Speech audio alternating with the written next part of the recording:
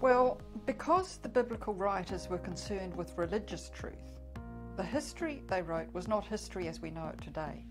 It was the story of God's loving presence in the world. The church claims that the Bible is the Word of God in human words. If we are to honour the Bible as God's Word, then we have to take seriously the implication of its human quality. God speaks to us in the images and idioms of particular people in particular cultures at particular times. For example, yeah, nah, it's been mental, back in the day, whatever. The biblical writers expressed particular insights about God, about God's mysterious presence and grace, about God's self revelation. There was no divine dictation involved.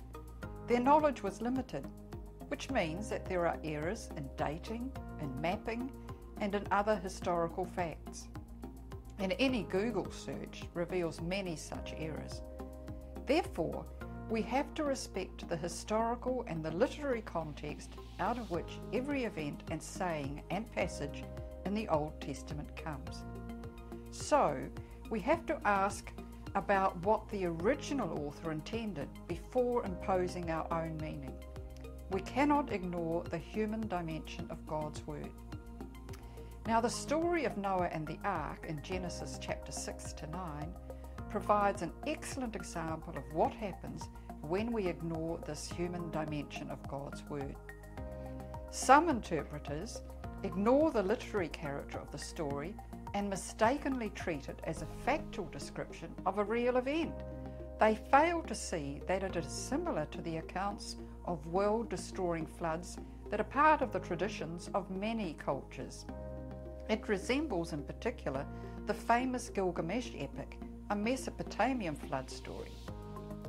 Any legend is seriously misinterpreted when we treat it as a factual account because we fail to see the truth it teaches.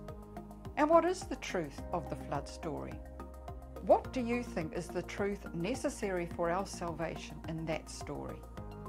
Now, a careful reading of it, including its inconsistencies, since two accounts are blended together in chapters 6 to 9, reveals that it tells very vividly a profound religious truth. That is, the God who takes account of evil is also a God of mercy. God knows the weakness and sinfulness of the human creature, but promises in a covenant never to flood the earth again. Now, the rainbow is the sign of this promise made to all.